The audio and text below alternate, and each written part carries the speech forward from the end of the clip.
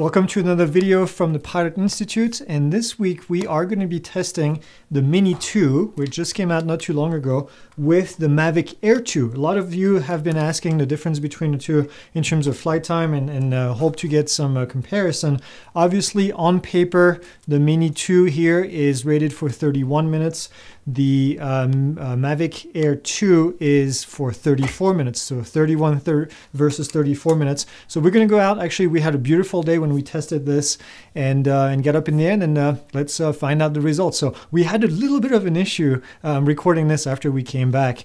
Uh, we had a little bit of an issue with the beginning of the video with a corrupted file. So uh, we're going to take you to kind of a minute or two into the beginning of the the flight, and then we'll go from there, and then go to the the warnings. we've done two other tests so far. So if you want to see on our YouTube channel, uh, we've tested the Mini 2 versus the original Mini. Kind of see the difference between the two. I don't want to spoil the results, so you may have seen the results already. And then we also did the Mini 2 versus the original Mini using the original Mini battery. So if you want to see those results, uh, go out there and check out the videos. They're popping up right here with a link. And uh, all right, so let's get to the field and take a look. The first thing that you'll see is the uh, obvious from the get-go is the uh, the Mavic Air 2 is showing much much longer on the battery, which again is expected. We have 34 minutes uh, expected flight on that versus 31 minutes on the Mini 2. Uh, also, what happened is uh, the battery I could not get the battery over 95% on the Mavic Air 2 by the time I got to the field. Um, I don't know if it was the temperature. I'm not quite sure actually what happened there, but I was at 99% on the Mini 2, so a bit of an advantage there. And then we lost 5% on the other one. Um, the battery had just come out of the charger, so that's uh, that's not really what the issue was here. But uh, let's uh, let's get started. Let's uh, forward a little bit, and then let's go further down. Uh, we'll take a look at the health of the battery in a second on the uh, as we fast forward through this. And as we get to about the three minute mark, what you will notice is that in terms of the battery health, obviously we have different voltage here. We have 12 volts on one side and then we have 8 volts on the other side.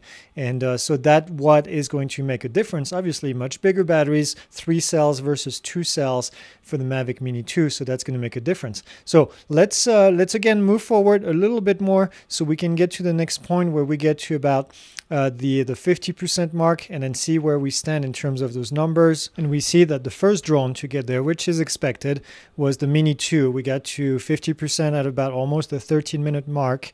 And uh, we still have, uh, we're at 53% on the original, on the Air 2. So um, quite a big difference at this stage. Uh, we're going to keep on going and see what happens as we get to the first warning. Now you see we have different warnings.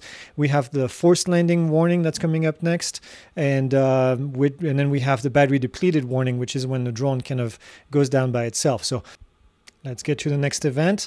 And that next event is coming up right here. And we have the first low warning battery from the Mini 2. Uh, the Mavic Air 2 is still going strong. So we're going to go fast forward from here. We're at a little bit less than, we were at less than 20 minutes when that happened. And uh, we're just going to fast forward. And then um, you know what happens after the low battery. Eventually the drone is going to be forced to land. It's going to be uh, something that we can prevent. So we're going to have to keep the drone up in the air using the control sticks in order to do that. And then and this is basically what we're going to do here. And uh, and you can see this is coming up right here. Interestingly, the uh, the two warnings happened at the same time. We have the uh, the forced landing that happened on the Mini 2, and at the same time we had a return to home, which is interesting because the Mavic Air 2 was really uh, really close to us, and it still kind of uh, prompted the the return to home, which we canceled pretty much right away. But now the the Mavic Mini has been the Mini 2 2 has been uh, in forced landing mode already, uh, and there's no slowing down on the opposite side for the uh, for the Mavic Air 2. And uh, so we'll keep it up right here in the air, and you can see that we're getting close to the forced landing. There it is for the Mavic Air 2. And again, we're going to fight it and we're going to keep it up in the air. You can see the drone is kind of going up and down as we're trying to find the right amount of stick to put in. But now what you see is the, the Mini 2 is at 0%. It's basically at 0%. It's uh, getting those last few inches of battery uh, that are left in there. I don't know if they're inches of battery, whatever you call it. And, uh, and then that's it. It's coming down. That's, uh, it's basically going to come down and landed. So we lost the uh, the Mini 2 uh, coming down and uh, and there you go. You've got about 26 minutes of battery on the Mini 2, which is pretty good for uh, being advertised for 31%. Uh, we had um, obviously we're flying at a high altitude. We're flying at 5,000 feet elevation, so we always get less than what is advertised on the battery. So 26 minutes, kind of in line with the other tests that we did in the past. Um, and then the Mavic Air 2 is still going, and we fast forwarded. We're at 28 minutes now, and there you go. There you go. 28 minutes is pretty much all it has. Um, it went down. Now we have uh, the the uh, the the answer is the difference between the Mavic Air 2 and the Mavic Mini. So let's take a look at the results and see exactly what the numbers look like. And we see that right from the get-go, what we had is uh, the low battery warning happened about three minutes apart, three minutes and 30 seconds apart. So the 20% difference. Uh, and that's interestingly, you know, the advertised battery is three minute difference. So that was pretty close. The low battery landing happened. So when we had to fight the drone in itself at 2338 and then 2505. So that's about a, a minute and a half, right? I think if I'm doing the math correctly, about a minute and a half difference. Now, interestingly, uh, those happen at different percentage. So that also makes sense. Uh, one happened at 10%, one happened actually at 5%. Uh, we reached 0% at about almost exactly, again, three minute difference. So pretty much right on the spot uh, for DJI.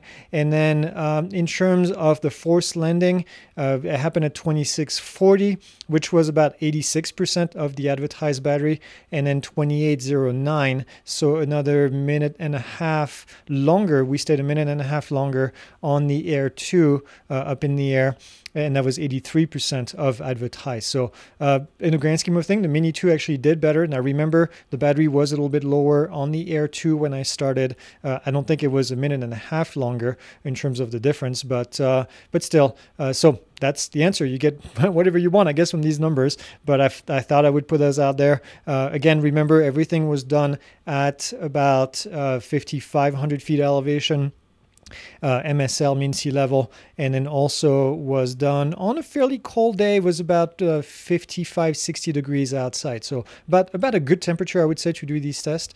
But uh, that's the information. So hope you enjoyed it, and I will see you guys later.